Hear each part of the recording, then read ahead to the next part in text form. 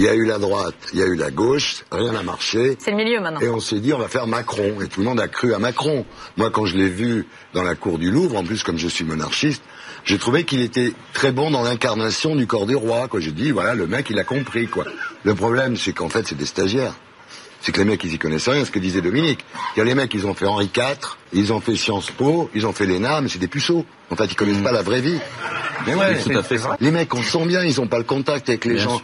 On a vu une, une- une semaine pitoyable avec Macron, c'est un peu comme la fuite à Varennes de Louis XVI. Mm. Le type est perdu dans son propre pays. Il, il erre dans son peu- propre mais pays. cas-là, tu prends et, des et- et les gens l'engueulent. Et les gens l'engueulent. Et il dit rien. Si vous n'êtes pas pour eux, vous êtes un sale populiste, c'est-à-dire vous êtes un nazi en quelque sorte, Exactement. vous êtes comme Marine Le Pen, voilà. Et si vous acceptez pas... Faites gaffe au payer- vous allez vexer Nicolas on, Mais on se connaît Nicolas, on se connaît. Ce que je veux dire simplement, c'est que si vous acceptez pas ces mesures, Bah, vous n'êtes pas écologiste. Voilà. Donc si vous n'êtes pas d'accord avec eux, vous êtes un type qui est contre l'écologie et qui est nazi. Bah, non, c'est pas une méthode très intéressante de gouvernement. On peut pas dire qu'Emmanuel Macron n'a pas été non, élu démocratiquement, non. Greg. Quand- non, quand tu as 95% des médias qui font une couverture sur lui dans les trois semaines qui précèdent l'élection. Quand tu as 7 de ces 9 milliardaires qui sont ses amis proches. Quand tu as un président qui recourt en campagne à des cabinets de nudge, c'est-à-dire de manipulation mentale pour influencer les électeurs. Quelles sont tes Quand sources tu pour as- dire ça? Barbara Stiegler. ouais, c'est public, non, c'est public. c'est bien de le rappeler. Si Euh, tu... quand, quand tu as euh, une désinformation médiatique qui est totale, quand tu t'es pris trois semaines de propagande BFM dans la gueule, tu ne Marine votes plus était, de euh, façon démocratique, c'est faux. Alors, une Allez, soumettez-vous. Notre pays mérite soumettez-vous, mieux que ça. Je ne me soumets à personne. Vous êtes à plat ventre en Mais permanence je- devant l'Allemagne, devant le syndicat Madame de la Le magistrature, devant l'UOIF, devant les communautaristes, devant les puissances d'argent, devant les banques, à plat ventre. Mais Madame Le, Pen, candidat moi, à plat ventre. je suis Voilà. debout. Mais pour être debout, je n'ai pas besoin de salir.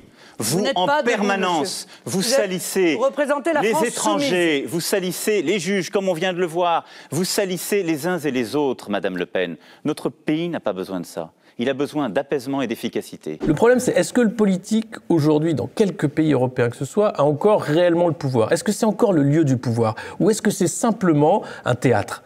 Et ça, c'est la vraie question. Parce qu'on voit bien où est, le pouvoir. Quand Ursula dit non, non, mais ils votent ce qu'ils veulent, mais au final, euh, on va s'arranger pour que la Fed, euh, la BCE, les marchés et la Troïka euh, les remettent d'aplomb. Le pouvoir, il n'est pas là. Il est dans les salles de marché, il est dans l'antichambre de BlackRock, il est, il est ailleurs que là où des clowns s'agitent pour nous occuper, nous, les enfants.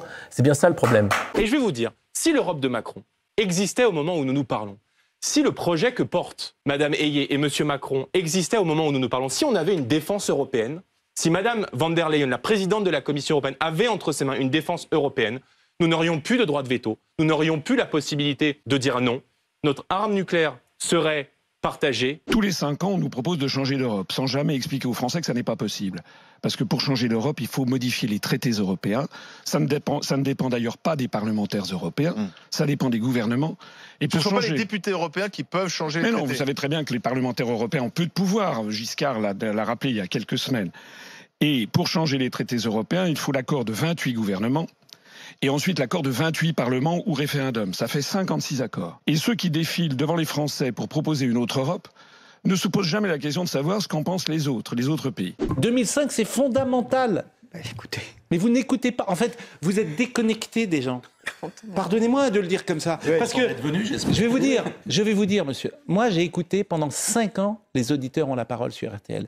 Pendant cinq ans, il n'y a pas une journée sans qu'ils ne m'aient parlé de 2005. Vous entendez? 2005, 2005, une- 2005, c'est- 2005, 2005. c'est une Et vous, vous me position. dites, je crois que personne ne s'est roulé par terre. C'est euh, l'usage démocratique. Ben non. Les gens ont été trahis, ils ne l'ont pas oublié, et c'est une des Oui, mais conséquences les gens aujourd'hui. sur l'Europe, ils ont, ils ont aussi évolué, puisqu'ils ont, ils ont quand même vu que l'Europe, sur l'affaire du Covid, elle avait euh, tenu son rôle, elle avait même euh, réussi un certain nombre de choses que les États ne réussissaient pas, y compris l'euro. C'est du théâtre, parce que le pouvoir est ailleurs. Et ça concerne l'immigration, l'agriculture, l'économie, l'industrie, la santé, de plus en plus. Traité mondial sur les pandémies de l'OMS qui peut nous imposer un pass sanitaire mondial, nouveau traité européen, euh, le pacte pour la migration, les crises agricoles, les paysans qui sont en pleine révolte massive contre l'agrochimie qui les met sous dépendance, contre les nouveaux traités de libre-échange de l'Union européenne, etc. Donc c'est ça, reprendre le contrôle, c'est quitter toutes ces instances. Union européenne, CEDH, euh, OTAN, etc. Sinon, euh, nous ne sommes que dans une pièce de théâtre. Non, je veux dire, un peuple, un pays, c'est pas une assemblée, c'est pas euh, 67 millions de, prisonniers avec des matons qui tapent dessus en disant on va faire ça parce qu'il y a 50 t'as voté pour moi ou t'as pas voté, mais enfin les autres ont voté pour moi. Euh, excusez-moi, un pays c'est plus compliqué. Il faut regarder les réalités, il faut regarder les évolutions, il faut tenir compte de ce que veut le peuple, de ce qu'il exprime comme inquiétude. On est censé faire nation ensemble. Ils sont censés être de la même nation que nous, pas nos matons. Qui est demandé, c'est la hausse de la TVA, c'est la baisse de l'impôt sur les grandes sociétés, c'est le gel du SMIC, c'est la mise en pièces de toutes les professions réglementées, les artisans taxis, les médecins, les avocats, les huissiers, les notaires, etc., qui vont tous se faire ubériser.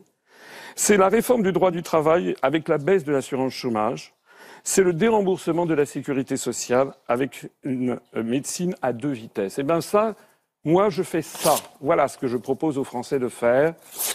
Moi, je veux sortir de ça. Ce que je veux dire, c'est que là, ils sont euh, accusés de euh, prise illégale d'intérêt. Mais c'est leur métier. C'est leur métier. Quoi? Mais c'est leur métier de livrer le pays à des intérêts privés. Je veux dire, Non, c'est pas leur intention première. Leur intention première, c'est de faire en sorte que la vie du Français soit meilleure Non, là- et que la France soit plus puissante et plus prospère. je conteste absolument l'intention première de M. Macron est d'abord de faire profiter les intérêts de ses amis financiers. Mais vous vous rendez compte ce que vous êtes en train de dire que son intention première est criminelle d'une certaine Non, manière? non, je dis son intention première est d'abord de satisfaire les financiers de ce pays. Oui, je le dis, monsieur ça, Corbet. Mais je le dis, mais vous savez monsieur Colère a agi dans ce sens dans plein de dossiers. Général Electric, quand il rachète Alstom, Mm. est-ce que vous croyez que c'est dans l'intérêt des Français? Il n'y a pas un homme politique d'opposition. Alors on dit opposition contrôlée, je ne sais pas si elle est contrôlée. À mon avis, elle s'autocontrôle de peur, de peur de perdre ses avantages et ses, et ses prérogatives. Parce que tu peux dire, quand on, tu payes, on te paye 15 000 balles par mois pour blablater, je peux te dire que tu réfléchis à deux fois avant de dissoudre et de voter une motion de censure. hein. Ils disent déjà plus rien dans l'opposition. Ils votent plus les motions de censure. Ils en déposent plus. Ils ont voté des horreurs au Parlement européen. Ils ont voté la reconnaissance faciale à l'Assemblée nationale. On peut faire la liste. hein. C'est l'enfer. Effectivement, il y a des millions de Français qui n'en peuvent plus que leur pays soit sous tutelle, qui ne puissent pas décider. Quelle sous quelle tutelle? Ah bah je vais vous donner des exemples très concrets. Mais non, mais Nous sommes dans un pays qui ne gère. Attendez, laissez-moi parler. Un pays qui ne gère ni ses frontières commerciales, migratoires, Mmh. ni sa monnaie, ni son budget, ni ses lois. Et un pays Ni qui- ses lois Ni ses lois, puisque le moindre règlement européen. 80% des lois françaises sont adoptées sans intervention de l'Europe. Le moindre, 80%. le moindre, c'est- faux. Mais le moindre, faux. le moindre Mais- règlement Ah, ça, évidemment, vous allez européen. me dire c'est faux, mais c'est pas faux. Monsieur Tout le Bourdin, monde ira vérifier. 80% des lois françaises Mmh, aujourd'hui sont issues. sans intervention de l'Europe. Oui, mais ça veut rien dire, ça. Elles sont bien votées encore formellement par nos députés et nos sénateurs. Mais elles sont issues d'un texte européen. 80%. Et le moindre règlement. Non, c'est vrai. Emmanuel Macron, il appartient à un courant de pensée, de philosophie politique, qui considère que la culture, ça n'existe pas, que l'identité, ça n'existe pas, que la terre, ça n'existe pas, et que nous vivons, comme le disait son mentor, dans des hôtels.